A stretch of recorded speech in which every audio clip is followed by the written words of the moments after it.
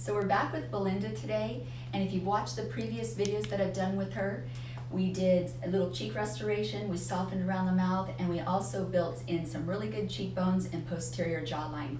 So that has really made a difference on our number one concern, which was the jowls. But today we're gonna do the final little step. We're gonna take some Restylane Refyne. We're gonna soften the little nasolabial folds with a light weighted filler, just to kind of blend that in. Take a little Restylane Refyne and we're gonna soften the nasolabial fold. And uh, the area has been prepped, numbed, and go ahead, if you want, you want to keep your eyes open or closed? Close them up.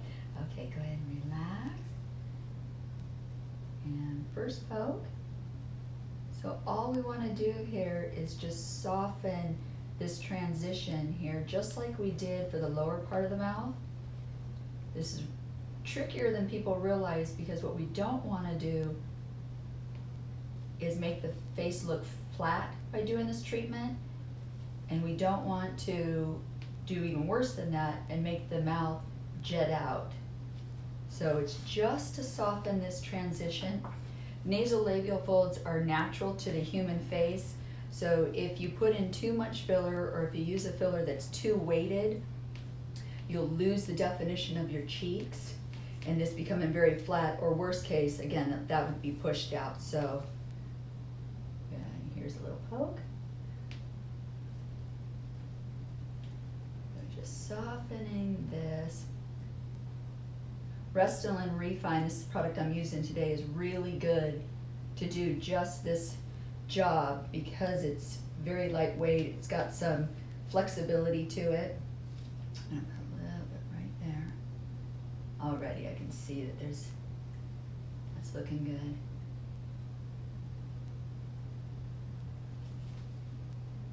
Don't need a ton of product. Here's a poke. And this is as high up as I'm going to go with this. Soften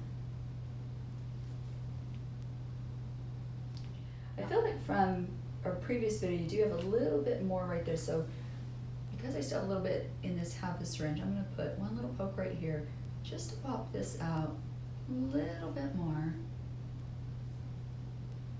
Fillers take three to four weeks to yield final results. So we will bring Belinda back in a few weeks and then get her final results on video. Yeah, that looks really good, okay? And this was the more dominant nasolabial fold, so you can see that already looks real soft and nice, okay? I like that, okay? Easy as that, now I'm gonna go on that side. But these Restylane products, very versatile. I use a lot of um,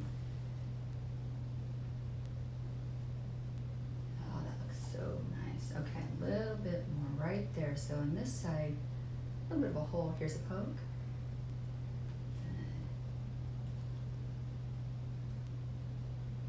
Just softening this, this transition here.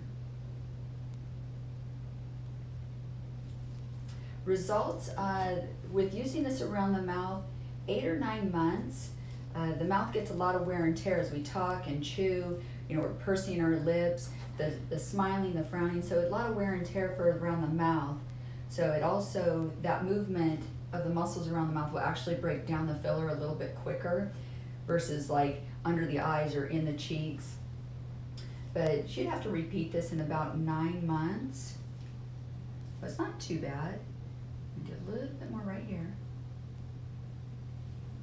And then for the other steps that we did for cheek, cheekbones, along the jawline about once a year, but as she progresses with continued treatments of this, um, results tend to last a little bit longer on the, the repeat treatment. So the investment, one more poke, the big investment is kind of the first year, and then it'll build upon the results and longevity will get longer. And Belinda's little makeover here to soften that, pull all everything together that we've done. And then we'll see you back in a few weeks to get the final video. Voila!